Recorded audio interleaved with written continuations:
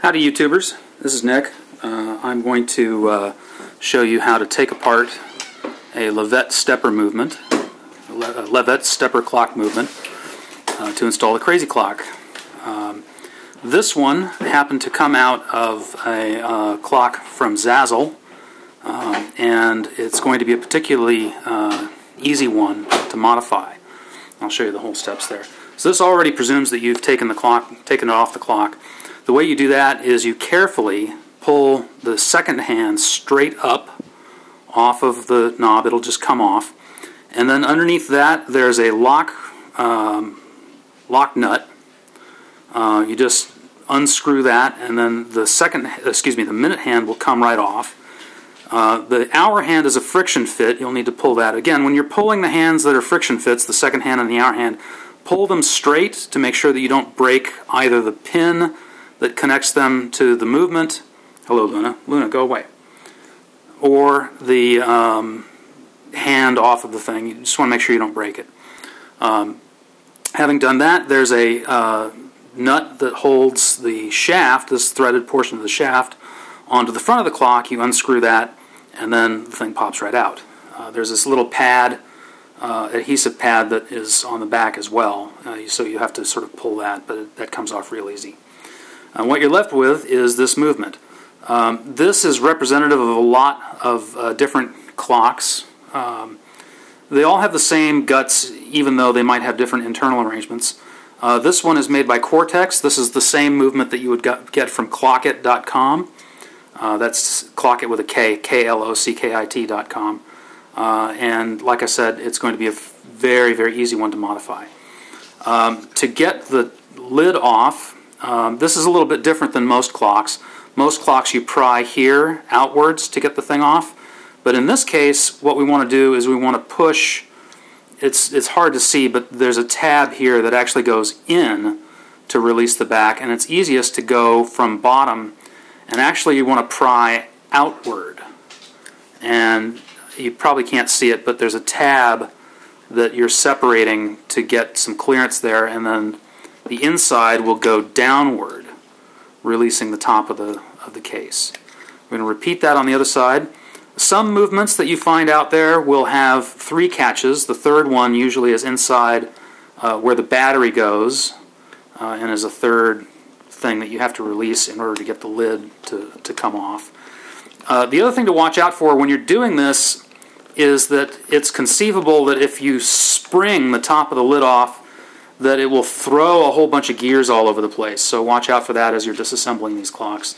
They obviously weren't made to be disassembled easily, um, so they, they don't make it easy. But if you can get the lid released like that much, pull all the tools out and just back off and carefully and slowly work the top of the lid off to make sure that you don't have a plastic gear explosion.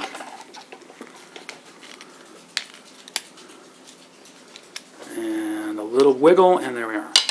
Now, the uh, Quartex movements, it's very nice because it's got this plastic thing that encloses most of the gears that makes it a lot easier to deal with.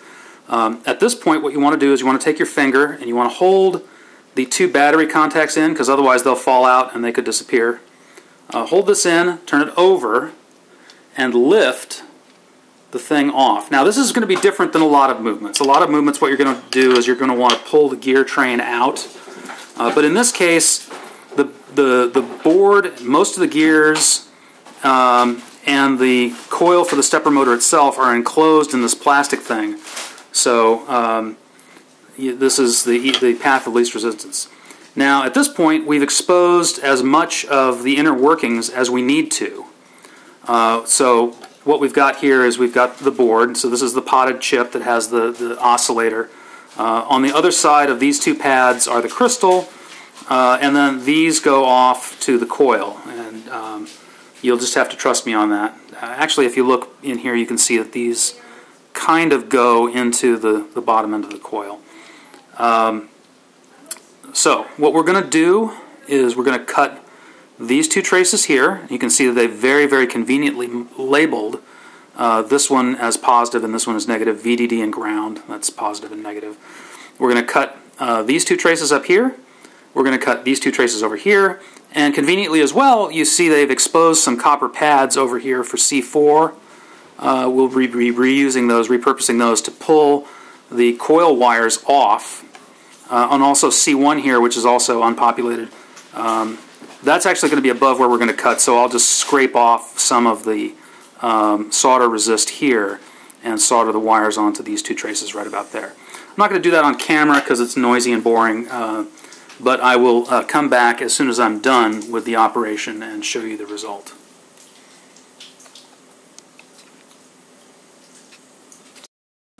Okay, and we're back. You can see what I did here is I cut a, uh, the traces along this line here underneath this white wire.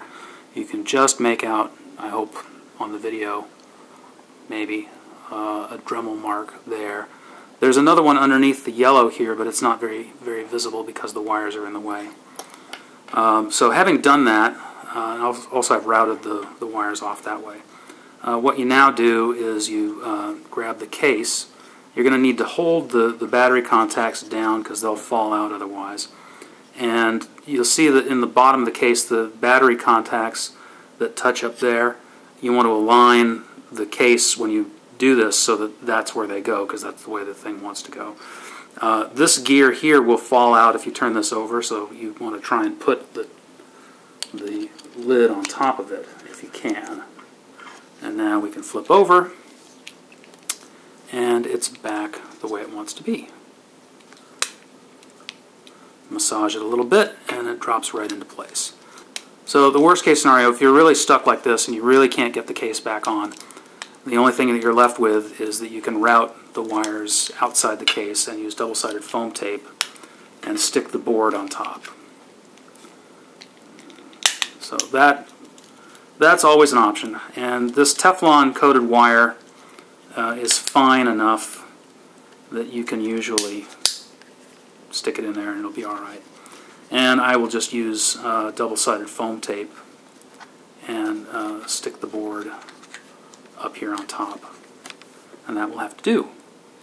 Uh, at this point, it's not a bad idea to go grab a AA battery and put it in there and test and make sure before you assemble the clock any further than this that it actually ticks. If you hold it up to your ear, you should hear the distinctive ticking um, and of course, that ticking should be modified to be whatever uh, firmware is loaded on the on the board.